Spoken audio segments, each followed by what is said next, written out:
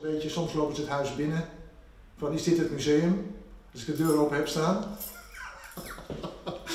Ja, bezoek van toeristen hoort er een beetje bij als je in het schip woont. Het werd in 1917 gebouwd en is ontworpen door Michel de Klerk, een van de belangrijkste architecten van de Amsterdamse school.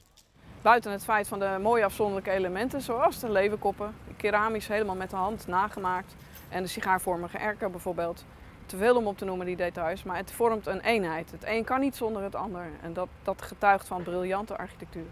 Het schip werd destijds gebouwd voor arbeiders en telt nog steeds 62 sociale huurwoningen, waarvan de bewoners vandaag weer terug konden verhuizen.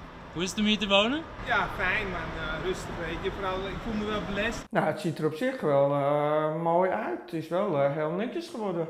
Nou ja, hier is de keuken.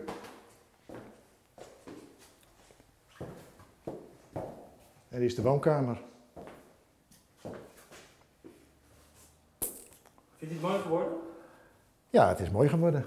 En niet alleen dat, het complex is van het allerlaagste energielabel G naar label A gegaan.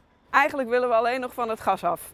Dat gaat helaas nog niet omdat de initiële investering nog te hoog is en het elektriciteitsnet nog niet aan kan. Maar die verduurzaming ging volgens de bewoners wel ten koste van iets anders. Ja, het is klein.